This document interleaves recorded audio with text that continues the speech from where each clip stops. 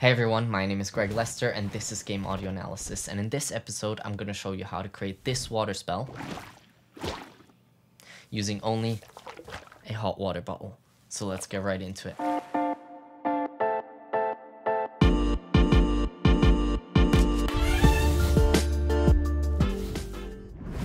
The first step of the process is to analyze the animation of the sound we are designing and then record lots of variations of our source material. Next up, we organize the sounds into similar categories so we will have an easier time finding what sound we are looking for when processing.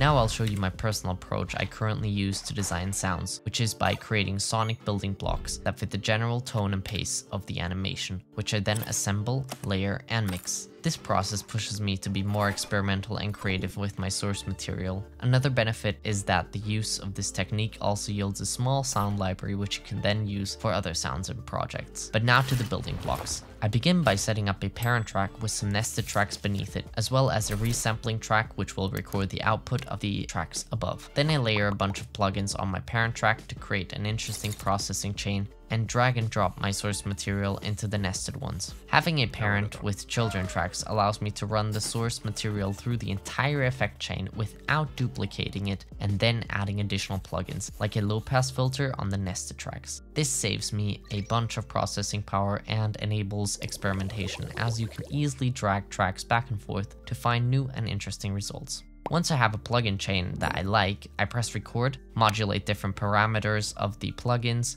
mute and unmute or interchange them and capture everything in the process. I then often resample these sounds by feeding the recorded files back into the plugin chain to process them once more. I save these plugin chains for later use to try out on different source material. The effects I use for the main plugin chain consist of a frequency echo, which is essentially a pitch modulated delay, a parametric and a semi-parametric EQ, a dynamic EQ, lots of compression, modulated filters, two phasers, saturation, and a chorus. I mixed and matched these in different combinations and settings to get a wide variety of source material. If you want a detailed breakdown of the entire process, then head over to my Patreon where you can watch the in-depth tutorial. Now that I've curated a nice little library of interesting sound blocks, I start with the assembly. First, I listen to the sounds and organize the ones I like into different categories under a master track. I then mute and unmute, add and delete, time stretch and edit the sound blocks until I'm happy with the result. This is a very iterative process where the sound slowly takes shape. And here are the various layers.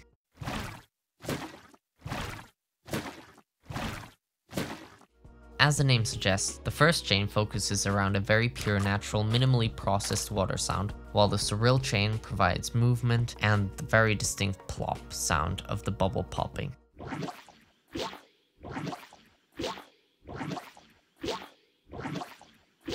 The melodic chain gives us more magical and tonal elements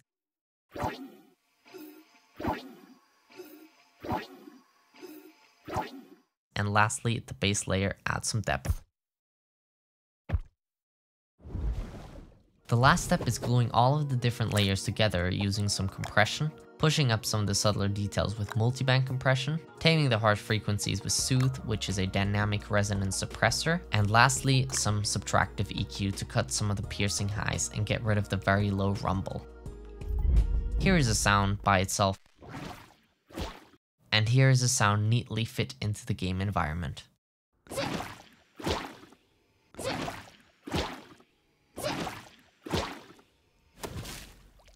As I've already mentioned, by using the building blocks technique, you'll create small sound libraries which you can use in future projects. Exporting all of these files can be a massive pain, however there are a couple of tricks to save you lots of time, so here's my personal method of choice. First, I group all of the similar sounds on the same tracks and name each one according to the Universal Category System, which is a file naming framework for sound design. You can find out more about it by following the link in the description. I personally prefer to have multiple sounds in one file as it's easier to drag and drop into a project and doesn't clutter up my library with hundreds of separate files. Then I open my export window and select stems for the export source and time region for the bounds. I also make sure to have the correct output directory set. For the file name, I add track, which will automatically insert the track name, which describes the general category, along with the subcategory.